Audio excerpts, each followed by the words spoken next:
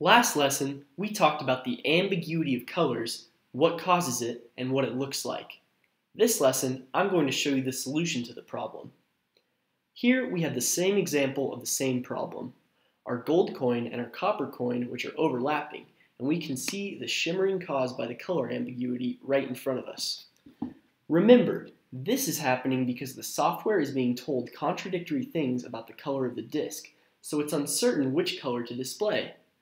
Our solution then is going to just be a matter of making it very clear to the computer what we are trying to show it. We are going to do this by subtracting the copper coin from the gold coin and then displaying them both. This way, the software isn't getting told contradictory things about the colors of the coins. So let's put in our one line right here, subtracting the copper coin from the gold coin, and press Run Program.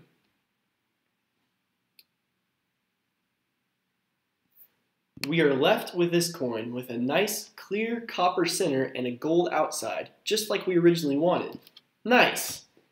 Remember, if you ever run into the ambiguity of colors problem, just be sure to make it clear to the computer what color you want an area to be by using subtract.